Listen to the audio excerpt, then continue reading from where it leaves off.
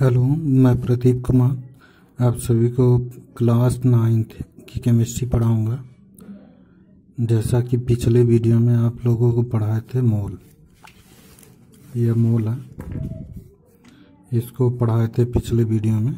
इसके बाद इस मोल में दो तीन सवाल भी करवाए थे। यहाँ पर सवाल भी है। दो सवाल करवाए थे।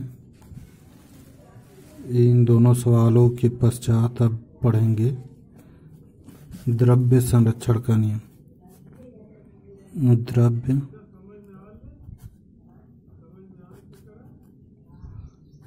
संरक्षण का नियम।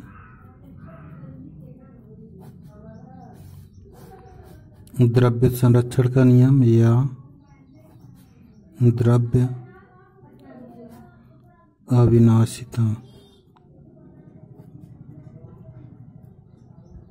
का नियम। द्रव्य संरक्षण का नियम या द्रव्य अविनाशता का नियम। तो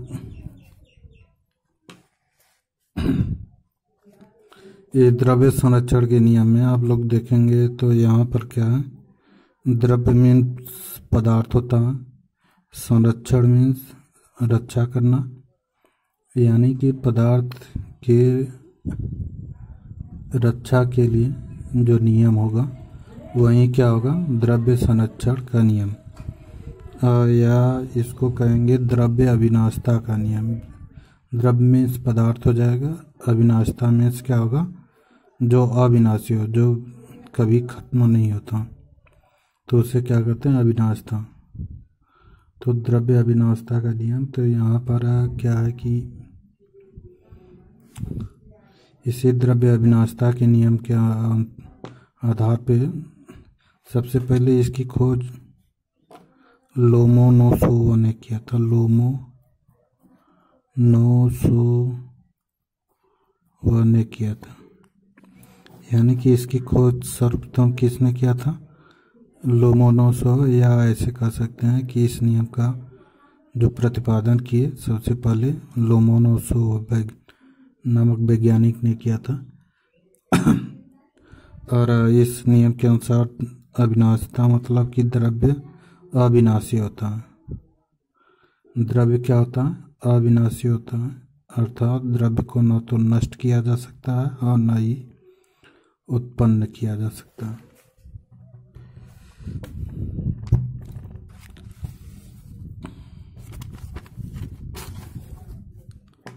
तो यहाँ पर कह सकते हैं कि द्रव्य को न तो नष्ट किया जा सकता है और न ही उत्पन्न किया जा सकता है, अर्थात द्रव्य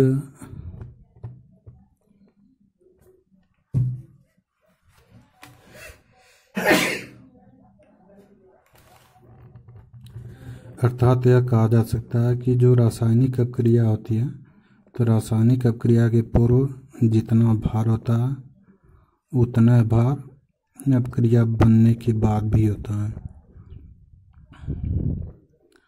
यानी कि जैसे अगर आप एक लीटर पानी ले लें और आधा लीटर, आधा किलो चीनी तो कुल तौल लेंगे तो डेढ़ किलो आएगा। और वहीं जब वह घोल देंगे तो जो शरबत बनेगा, वह भी डेढ़ किलो का होगा। तो इस तरह से अब क्रिया के पूर्व का जो द्रव्यमान होगा और अब क्रिया के बाद का जो द्रव्यमान होगा, वह क्या होगा? सेम होगा। तो इस तरह से सिद्ध होता है कि पदार्थ क्या होता है? नष्ट नहीं होता, लेकिन बस एक रूप से दूसरे रूप में वह बदलता है। तो यहाँ पर द्रव्य संरक्षण के नियम के अनुसार या सबसे पहले इस नियम का प्रतिपादन। इस नियम का प्रतिपादन।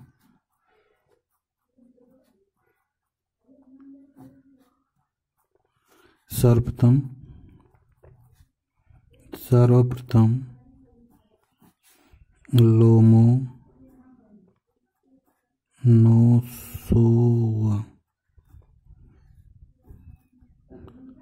लोमोनोसोवा नामक वैज्ञानिक ने किया था। नामक वैज्ञानिक वैज्ञानिक ने किया था। तो इस नियम का प्रतिपादन सर्वप्रथम लोमोनोसोवा नामक वैज्ञानिक ने किया था।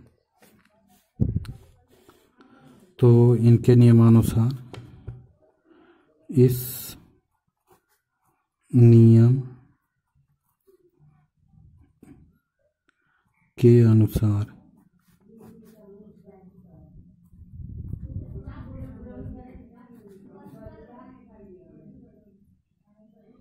इस नियम के अनुसार द्रव्य क्या होता है? अविनाशी होता है। द्रव्य अविनाशी होता द्रव्य अविनाशी होता द्रव्य को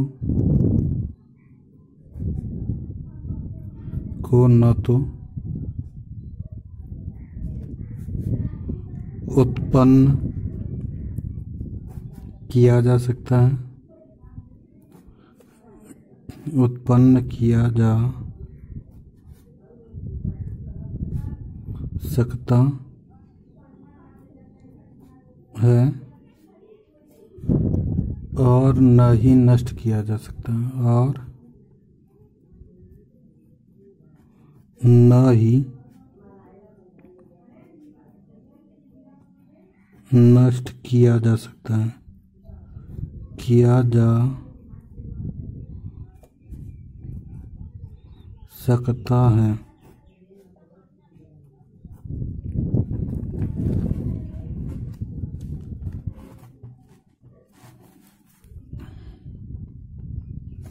अतः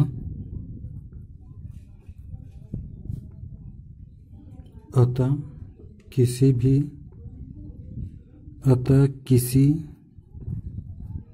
भी रासायनिक।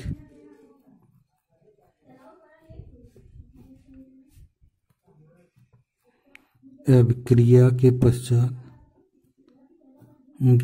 अतः किसी भी रासायनिक अभिक्रिया में परिवर्तन परिवर्तन के पश्चात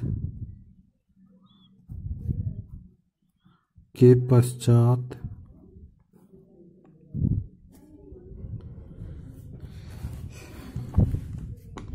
भी द्रव्य का कुल आयतन द्रव्य का कुल द्रव्यमान कुल द्रव्यमान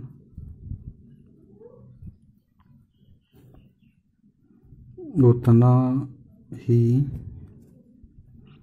उतना ही रहता है।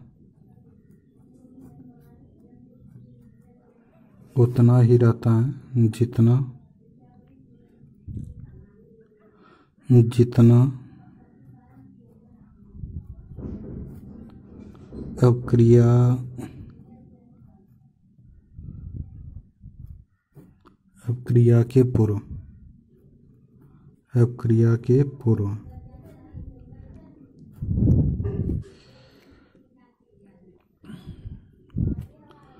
अर्थात अर्थात कह सकते हैं कि रासायनिक अभिक्रियाओं में, रासायनिक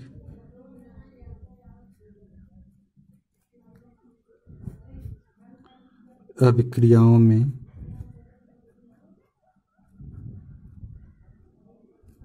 रासायनिक अपक्रियाओं में पदार्थों का कुल द्रव्यमान पदार्थों का कुल द्रव्यमान कुल द्रव्यमान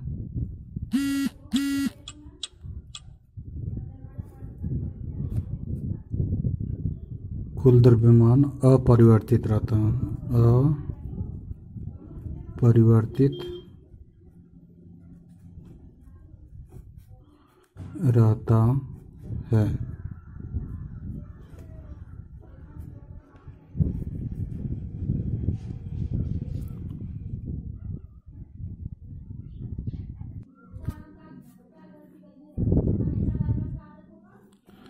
तो यहाँ पर द्रव्य संरक्षण का जो नियम है, इस नियम का जो प्रतिपादन किए थे, सर्वप्रथम लोमोनोसो ने किया था।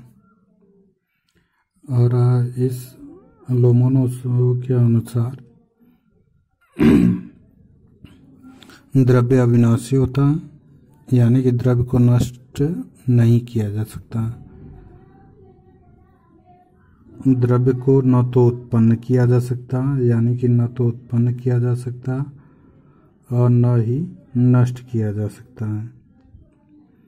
अतः किसी भी रासायनिक अभिक्रिया में परिवर्तन के पश्चात भी, अतः किसी भी रासायनिक अभिक्रिया में परिवर्तन के पश्चात भी द्रव्य का कुल द्रव्यमान उतना ही रहता है जितना कि अपक्रिया से पूर्व। यानी कि अपक्रिया के बाद भी जितना द्रव्यमान रहता है, उतना अपक्रिया के पूर्व भी रहता है। अर्थात रासायनिक अपक्रिया में पदार्थों का कुल पदार्थों के द्रव्यमानों में द्रव्यमान क्या होता है? अपरिवर्तित रहता है। यानी कि उसके द्रव्यमान में क्या होता है कि कोई परिवर्तन नहीं होता, चाहे वह पहले हो, चाहे बाद में हो। तो इस तरह से इसको डिफाइन कर सकते हैं। तो यहाँ पर एक सूत्र मिलेगा।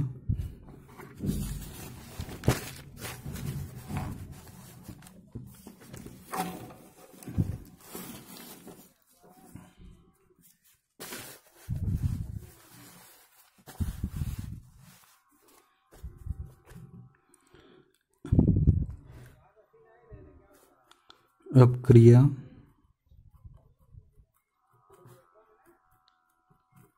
अपक्रिया से पूर्व पदार्थ का कुल द्रव्यमान पदार्थ का कुल द्रव्यमान यह हो जाएगा बराबर। अभिक्रिया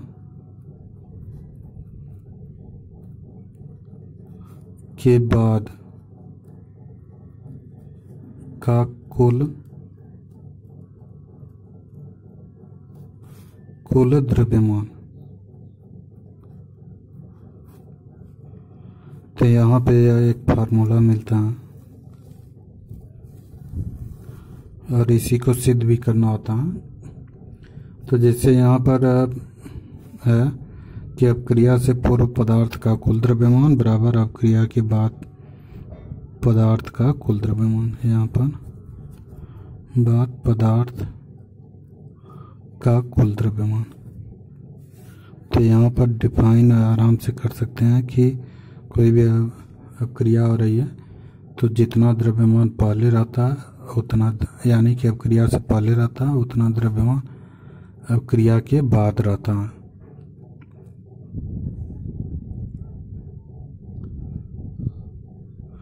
तो इस प्रकार से तो इस प्रकार से यह द्रव्य संरक्षण का नियम यही है। और इसमें अगर उदाहरण देख, देखेंगे, उदाहरण।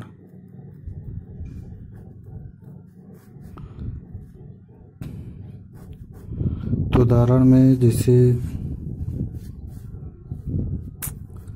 ए जी एन ओ थ्री लिए A G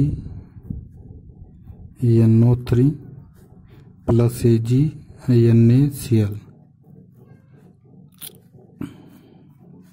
यानी कि सिल्वर नाइट्रेट और सोडियम क्लोराइड को आपस में मिला देते हैं। तो यह बनता है ए जी सी एल और एन एन ओ थ्री बनता है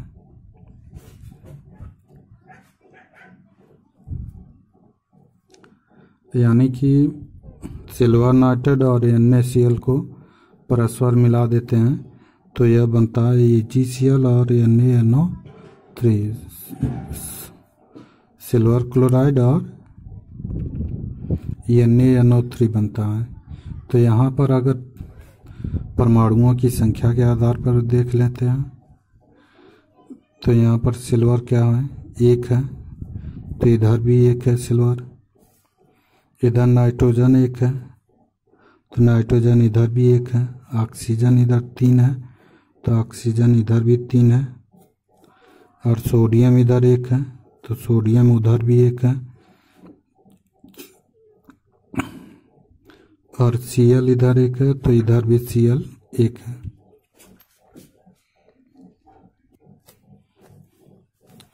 इसी तरह से अगर इन सबों का अगर परमाणु भार के हिसाब से देखेंगे या अणु भार के हिसाब से, तब भी दोनों और क्या होगा, बराबर आएगा। तो यहाँ पर सिल्वर का परमाणु भार होता है एक, आठ, एक सौ आठ। नाइट्रोजन का चौदह होता है, प्लस ऑक्सीजन का सोलह गुड़े क्या हो जाएगा? तीन हो जाएगा। इसको जोड़ेंगे तो एक सौ आठ, प्लस चौदह, प्लस अड़तालीस, यानी कि बराबर में आ जाएगा आठ चार बारह बारह आठ बीस, चार दो छः एक सात, एक एक सौ सत्तर। यहाँ पर देखेंगे तो सोडियम का परमाणु भार, तेईस होता है, और इसका पैंतीस दशमलव पाँच होता है, यह हो जाएगा अट्ठावन दशमलव पाँच। अब इसी तरह से यहाँ पर देखेंगे, सिल्वर का होता है एक सौ आठ, प्लस इसका पैंतीस दशमलव पाँच। जोड़ देंगे तो आएगा एक सौ तिरालीस दशमलव पाँच। और यहाँ पर सोडियम का परमाणु भार होता है तेईस, प्लस सोडियम नाइट्रोजन का चौदह, ऑक्सीजन का सोलह गुड़े क्या आ जाएगा? तीन। तो यहाँ पे तेईस प्लस चौदह प्लस अड़तालीस।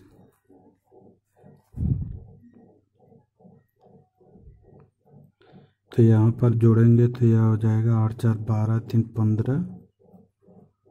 चार एक पाँच, एक छः, दो आठ। अब यहाँ पर देखेंगे तो इन दोनों को जोड़ देंगे। इन दोनों को जोड़ेंगे तो यह हो जाएगा दशमलव पाँच। और यह आठ तीन ग्यारह। नहीं, पाँच तीन आठ। और आठ चार बारह। एक एक दो। दो सौ अट्ठाईस दशमलव पाँच। ग्राम इधर आएगा। और यहाँ पर इसको दोनों को जोड़ेंगे तो यहाँ पर हो जाएगा। इन दोनों को जोड़ेंगे। तो यहाँ पर दशमलव पाँच और आठ और सात पाँच बारह और एक एक दो। तो यहाँ पर दो सौ अट्ठाईस दशमलव पाँच ग्राम यह आया, आठ दो सौ अट्ठाईस दशमलव पाँच ग्राम यह आया। तो यह अपक्रिया अपक्रिया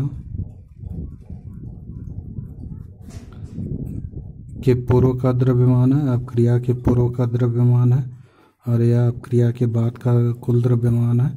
तो दोनों क्या आ रहा है? सेम आ रहा है, इसलिए इस नियम के अनुसार, यानी कि द्रव्य अविनाशी होता है, द्रव्य को न तो नष्ट किया जा सकता है और न ही उत्पन्न किया जा सकता है। तो इस तरह से दोनों बराबर आने का मतलब कि यानी कि पदार्थ एक भी नष्ट नहीं हुआ।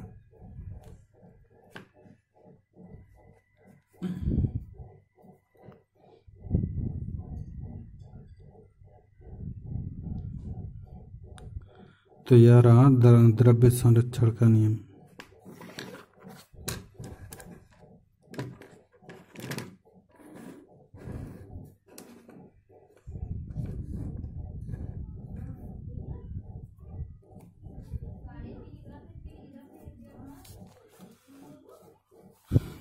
इसके बाद इसके बाद दूसरा नियम होता है स्थिर अनुपात का नियम। स्थिर अनुपात अनुपात का नियम।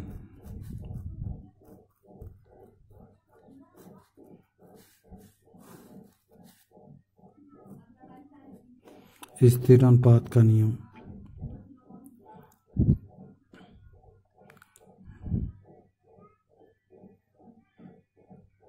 तो स्थिर अनुपात के नियम है, क्या है कि कोई भी पदार्थ है, सबसे पहले इस नियम का प्रतिपादन प्राउस्ट ने किया था।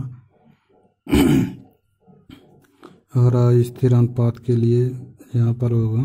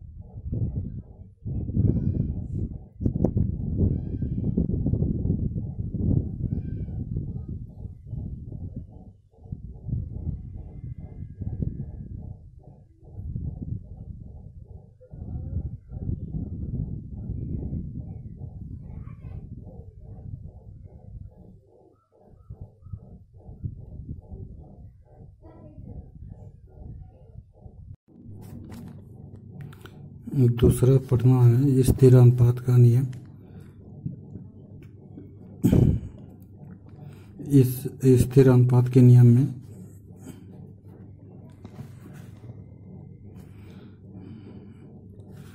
यानी कि इसका मतलब होगा कि अनुपात क्या हो, स्थिर हो। तो यानी कि अगर दो पदार्थों का जो द्रव्यमान होता है एक ही अणु हो और वो उन दोनों में।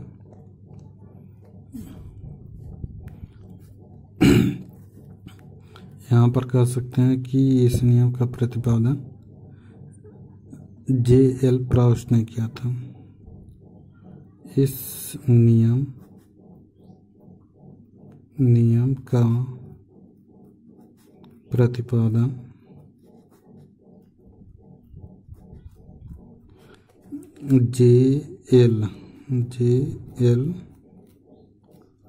Proust ने किया था। प्राउस्ट ने किया था।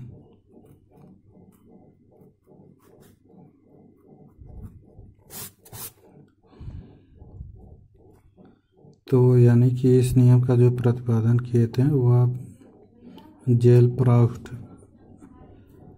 वैज्ञानिक एक वैज्ञानिक थे उन्होंने ही किया था।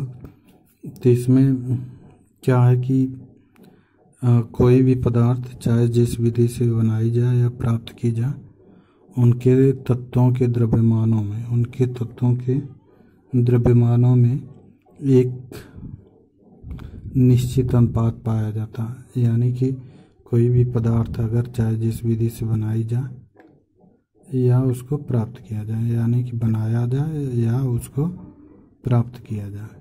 तो उसे उनके द्रव्यमानों में जो होगा, उनके तत्वों के द्रव्यमानों में एक स्थिर अनुपात प्राप्त होता है। जैसे अगर आप जो जल है, उसको अगर कुएँ से प्राप्त किया जाए तो उसका सूत्र होगा एस टू तालाब से प्राप्त किया जाए, उसका भी सूत्र होगा एस टू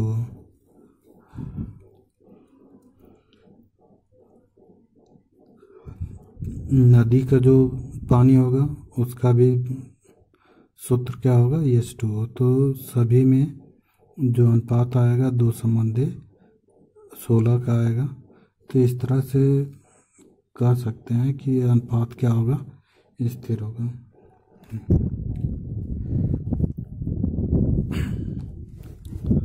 तो इस नियम के अनुसार, इस नियम के अनुसार।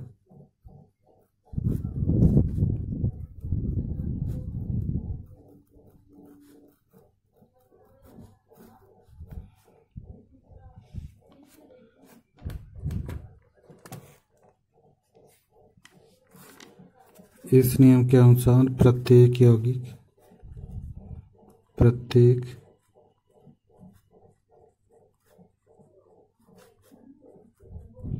यौगिक प्रत्येक यौगिक चाहे वह किसी भी विधि से विधि से बनाई जाए बनाई जाए। या प्राप्त किया जाए। या प्राप्त किया जाए। बनाई जाए या प्राप्त किया जाए। तो तत्वों के द्रव्यमानों में तो तत्वों के द्रव्यमानों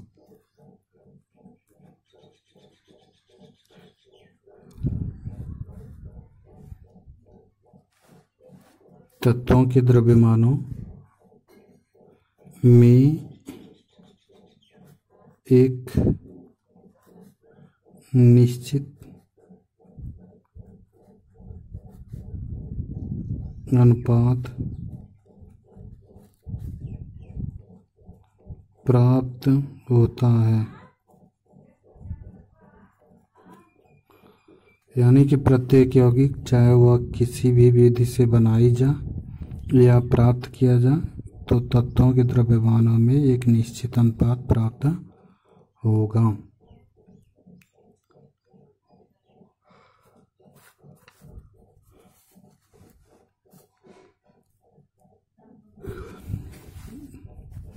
और इस प्राउस्ट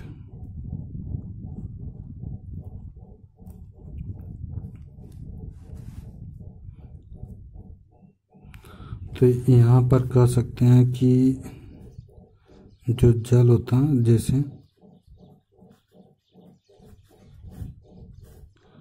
जल को अगर लेंगे तो जल का सूत्र होता है एस टू तो यहाँ पर जो जल होगा, नदी से नदी से प्राप्त जल। नदी से प्राप्त जल।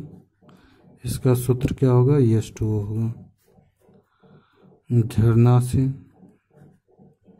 झरना से प्राप्त जल। इसका भी सूत्र क्या होगा? एस टू होगा।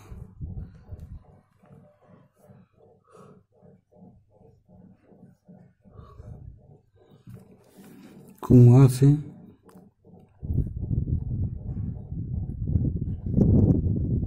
कुआँ से जो प्राप्त होगा जल उसका भी सूत्र क्या होगा? एस टू होगा। तालाब से तालाब से प्राप्त जल यह भी क्या होगा? एस टू होगा। और इसी प्रकार प्रयोगशाला में प्रयोगशाला में बनाई गई। बनाया गया जल। यह भी क्या होगा? इसका सूत्र एस टू होगा। तो यहाँ पर जो देख रहे हैं, यहाँ पर नदी से, झरना से, कुआँ से, तालाब से, इन सबों से जल को क्या करते हैं? प्राप्त करते हैं। यानी कि मिलता है। और प्रयोगशाला में जल को क्या करते हैं? बनाया जाता है। तो इन दोनों में अगर देखेंगे तो यहाँ पर एस टू यहाँ पर दो हाइड्रोजन हाइड्रोजन का परमाणु भार होता है एक। तो यहाँ पर दो हाइड्रोजन है तो दो हो जाएगा।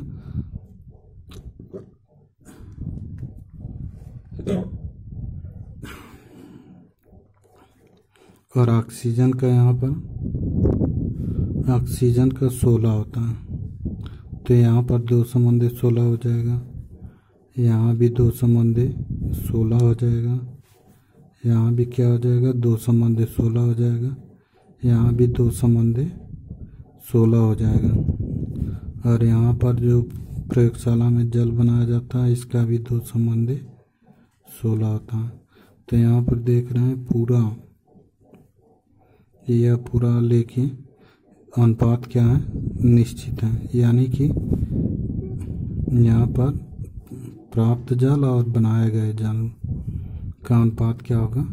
स्थिर होगा। इसलिए यह स्थिर अनुपात के नियम की पुष्टि करता है।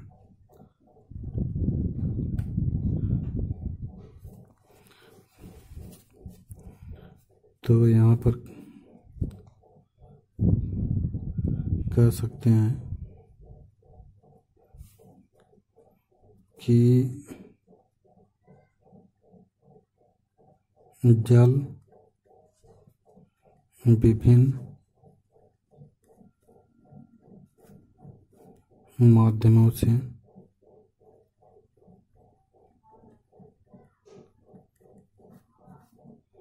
माध्यमों से प्राप्त होता है और बनाया जाता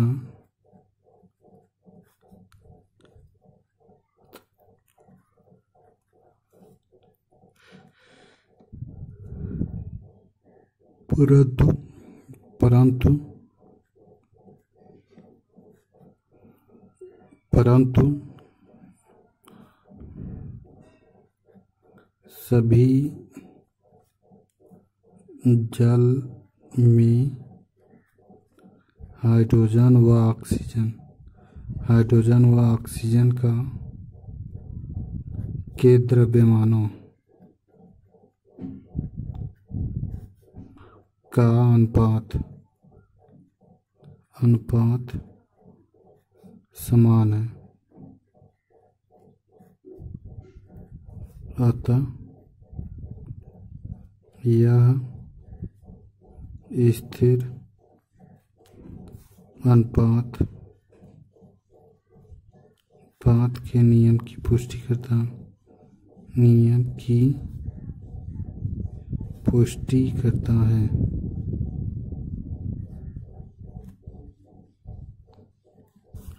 अतः विभिन्न माध्यमों से प्राप्त जल जल विभिन्न माध्यमों से प्राप्त होता है और बनाया जाता, परंतु सभी जल में हाइड्रोजन व ऑक्सीजन के द्रव्यमानों का अनुपात क्या होता? है समान है, अतः यह स्थिर अनुपात के नियम की पुष्टि करता है।